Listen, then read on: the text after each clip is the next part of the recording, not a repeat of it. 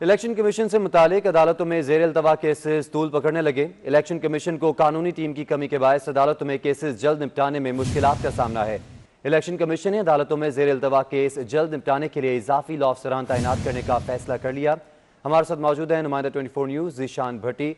Zeeshan, details दीजिएगा जी, बिल्कुल देखिए, जो मुख्तफ सूबाई अदालतें हैं, वहाँ पे इलेक्शन कमीशन से मुतलिक जो केस जेर अल्तवा हैं, वो इलेक्शन कमीशन को नोटिस जारी किए जाते हैं, लेकिन जो इलेक्शन कमीशन के वकला हैं, वो कम होने की वजह से तमाम अदालतों में वो बर वक्त जो है, वो जवाब जमा नहीं करवा सकते, नहीं पेश हो सकते, जिसकी वजह से केस जो है, वो अल्तवा का शिकार होते हैं। तो इलेक्शन कमीशन ने चौदह लाख अफसरान जो है, वो नए तैनात करने का फैसला किया है। इसके अलावा एडिशनल डीजी लॉ जो है, उसको अहदे के लिए भी इलेक्शन कमीशन ने तैनाती का फैसला किया है ताकि जितने भी सूबाई अदालतें हैं, वहाँ पे केसेस हुआ बर वक्त इलेक्शन कमीशन से जवाब तलब किया जाता है अदालतों में इलेक्शन कमीशन अपने लाभ फ्रांस के ज़रिए उन अदालतों में बर वक्त अपना जवाब जमा करवाया ताकि इलेक्शन कमीशन से मुतलिक जितने भी केसेज होते हैं, वो बर वक्त निपटाए जा सके। जीशान भट्टी, बहुत शुक्रिया आपका।